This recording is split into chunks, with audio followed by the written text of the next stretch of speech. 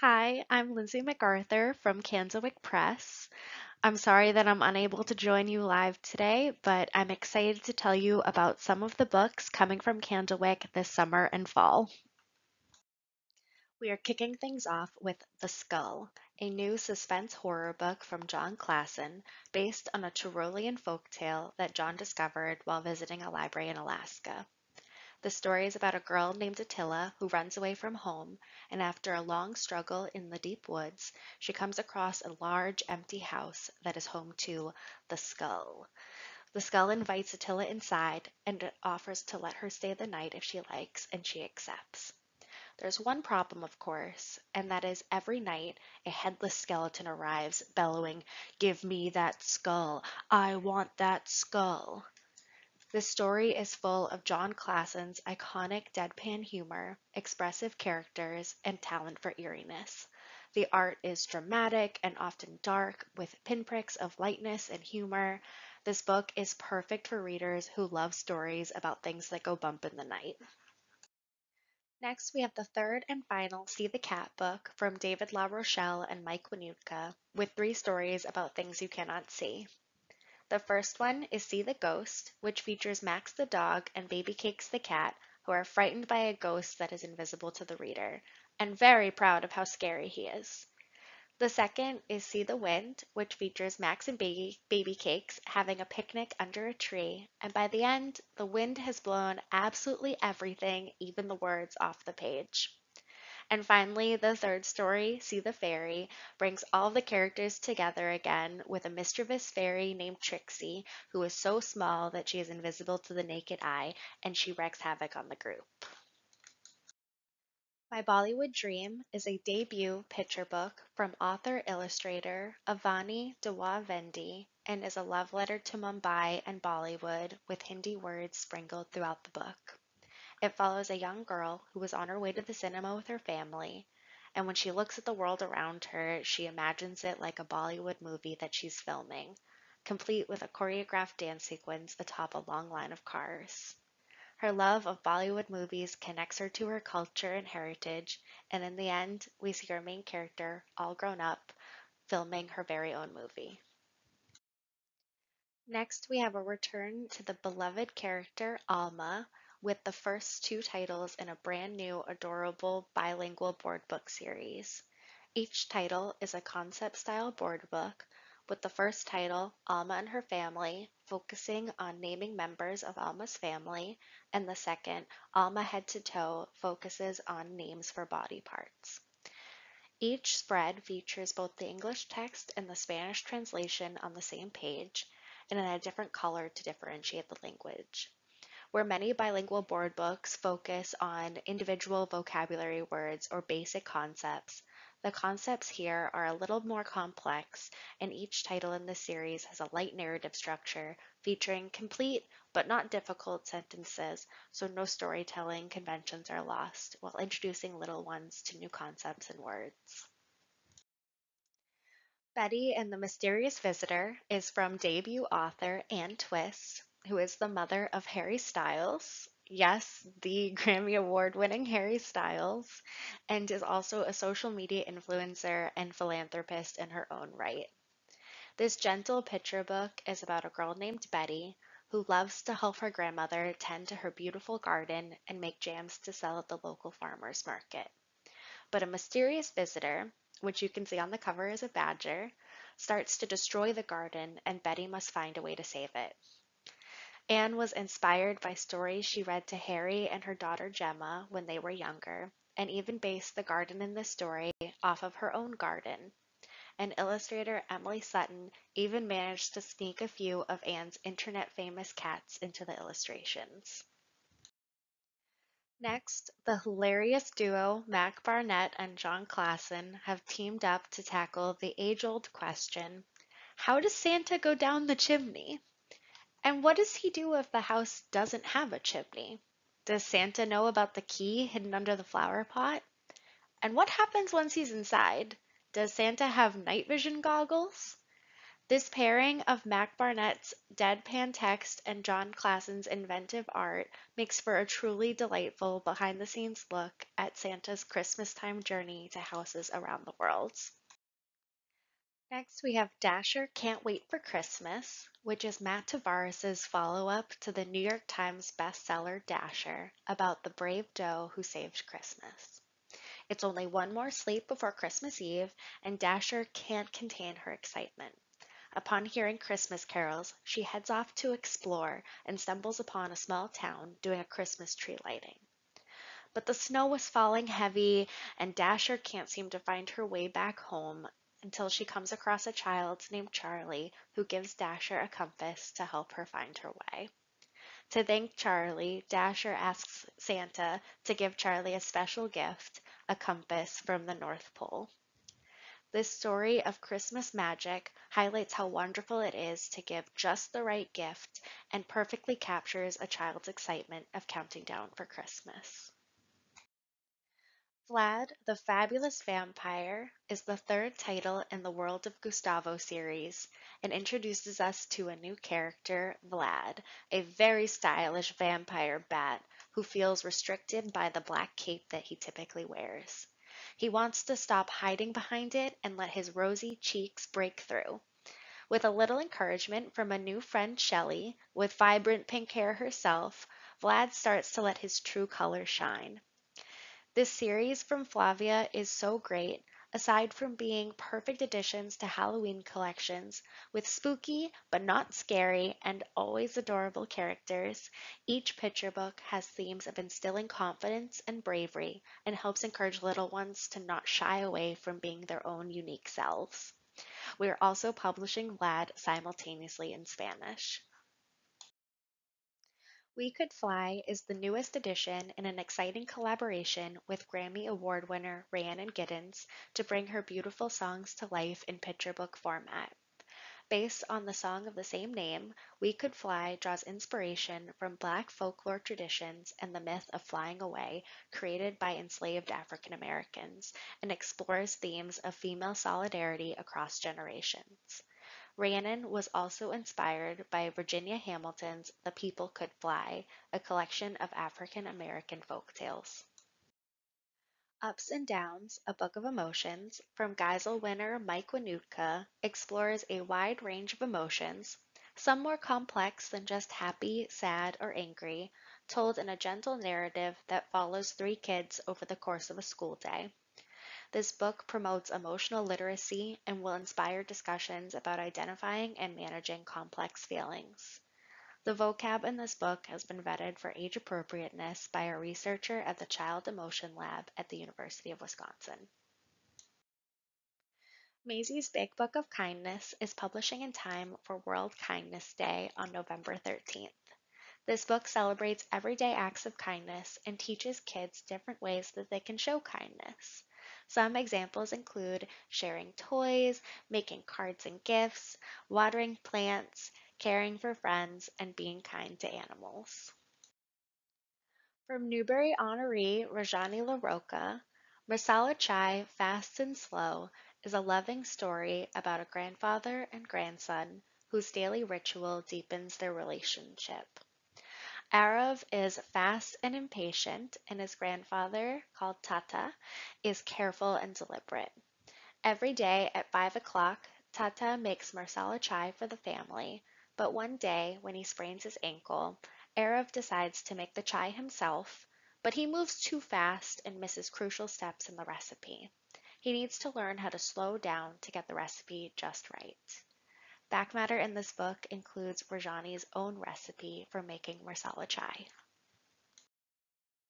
Boy Yogi, How a Wounded Family Learned to Heal is from Coretta Scott King, John Steptoe New Talent Author Award winner David Barclay Moore, and Caldecott Honor recipient Noa Denmon.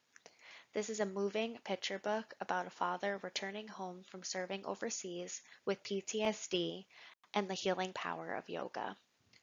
Boy Yogi serves as a wonderful resource for young children on understanding mental illness and PTSD in their parents, and of healing and recovery through the lens of yoga. The title of this book comes from a nickname that the father gives his son, Boy Yogi. Next, we have 11 Words for Love, a journey through Arabic expressions of love. The Arabic language actually has more than 50 words for love, but this picture book from Randa Abdel-Fattah and Maxine Beneba Clarke focuses on 11 of them. With the refrain, There are 11 words for love, and my family knows them all, echoed throughout the text, as a family expresses love for each other and the world around them, and celebrates the many forms love takes. Each word is featured separately on the page, where it's introduced with both Arabic and translated texts, along with art illustrating the narrative of the story. Some of the expressions of love are obvious, between a parent and child, or a sibling or friends. Others are more nebulous, the love for a specific place or homeland, or a grief-like love for a person who's no longer with us. There continues to be a real lack of stories featuring Arab families for young readers, especially stories that aren't centered around specific holidays. So it's nice to have a picture book that can live on bookshelves year round, focused on the universal theme of love. 10 Word Tiny Tales is an inventive collection of writing prompts featuring 20 bite-sized stories, each only 10 words long and illustrated by a different artist. Each story brings a new world to explore with a spooky gothic tone. The book opens with a note from the author and offers two writing challenges at the end, making this a perfect jumping off point for National Novel Writing Month in November. Frankie and Friends Breaking News is the first in a new first chapter book series from Christine Platt featuring young Frankie, a budding future journalist who starts covering breaking news in her own home while her mother is off covering major events out in the world. This book is perfect for inquisitive and imaginative young audiences and is a great early, gentle introduction to media literacy and the concept of reporting. Back matter includes kid-friendly definitions of news terms, and we have three more books signed up in the series, with the next book releasing in spring 2024. From the award-winning duo Eoin Colfer and PJ Lynch comes a brand new Arthurian-inspired adventure story, Three Tasks for a Dragon. Prince Lear failed the test to secure his position on the throne and is banished from the kingdom by his stepmother, who declares that the crown be passed to her own son. The only way that Lear can redeem himself is by successfully completing a quest to rescue the maiden Cethlen from the once fearsome dragon. This is an original Dragon Quest story with a feminist twist, sure to be a hit with fans of medieval fantasies and magical tales. All the Small Wonderful Things is Kate Foster's heartfelt middle grade novel featuring 11 year old Alex, an autistic child in pursuit of his first human friendship, though his cockapoo Kevin is an excellent companion. Inspired by Kate's experience with her own autistic child and their family dog, this is a truly special story of what it really takes to be and make a friend, with an honest and open take on living and thriving with neurodivergence, serving as both a mirror for autistic readers who may see themselves in Alex and a window to better understand friends. Next, we have the final book in the Deckawoo Drive series, starring the one and only Mercy Watson in Mercy Watson is Missing. Every favorite Mercy Watson character makes an appearance in the search for Mercy in this extended conclusion. Full of humor and warmth, this book is an extra special treat for loyal Mercy fans. I'm really excited to introduce you to the first in a new trio of original fairy tale novellas from Kate DiCamillo. The Puppets of Spellhorst is set in the fictional world of Norendy. Each novella will feature black and white illustrations by a different illustrator and centers around themes of hope and inspiration, two themes prevalent in many of Kate's works. The Puppets of Spellhorst, illustrated by Julie Morstad, features a quintet of hand puppets, a king, a wolf, a girl, a boy, and an owl, each with their own dreams and longings, who find themselves in a trunk together and are carried off into an adventure and in the care of two sisters, and ends with a performance of the puppets. We are also delighted to be issuing a 20th anniversary collector's edition of The Tale of Despereaux, which includes a brand new 15 page Despereaux short story from Kate, also set in the world of Norendy, and new art from Tim Basil Ering. Two Headed Chicken is back, this time for a time traveling adventure. Filled with the same absurdist humor as the first book, New York Times bestselling author Tom Angleberger delivers another entertaining adventure story featuring dinosaurs, castles, spaceships, and even Emily Dickinson. Claire Lordon's stunning debut, One in a Million, is a graphic novel memoir about a teen managing a chronic invisible illness while balancing the already delicate world of high school. Claire's struggles with her symptoms while navigating the medical system and advocating for herself for a diagnosis are unfortunate realities that many know all too well. And One in a Million helps normalize this experience for those dealing with chronic and mental health issues of their own. But it also helps improve understanding and build empathy for those who might know someone in a similar situation. The title comes from Claire's ultimate diagnosis, Cushing's disease, a condition that literally impacts one in a million children under the age of 18. I am thrilled to talk about the recent news that our very own Meg Medina is the new National Ambassador for Children's Literature and the first Latinx author to serve as National Ambassador. One way we're excited to celebrate Meg and her new role this fall is with a brand new graphic novel edition of her Pura Belpré award winning novel, Yaqui Delgado Wants to Kick Your Ass. Publishing simultaneously in hardcover and paperback, and featuring two color art from Mel Valentine, it's really great to have this new format to introduce the novel to a new generation of readers. Meg also aims to focus on accessibility of stories and entry points into books for reluctant readers as part of her platform, so this format fits well with this mission. And here is a list of all of Meg's titles covering all age ranges from picture books to middle grade and YA.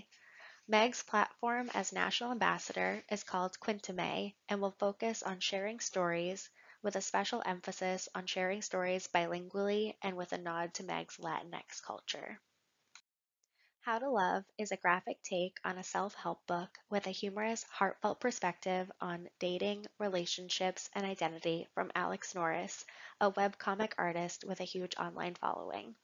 This collection of all original comics is structured around typical questions written into relationship advice columns, spanning topics like identifying a first crush, asking someone out for the first time, coping with a tough breakup, and addresses the complexities of the gender and sexuality spectrum in a thoughtful way. Perfect both for the many fans of Alex's webcomics or young people just starting to learn about themselves and exploring relationships with others.